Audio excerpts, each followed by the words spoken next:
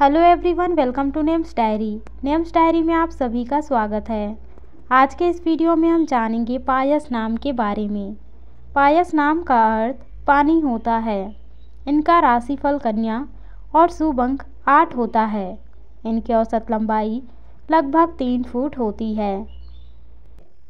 इस राशि से संबंधित लड़के, साहसी, अकलमंद, प्रतिभाशाली मेहनती एवं महत्वाकांक्षी प्रवृत्ति के होते हैं।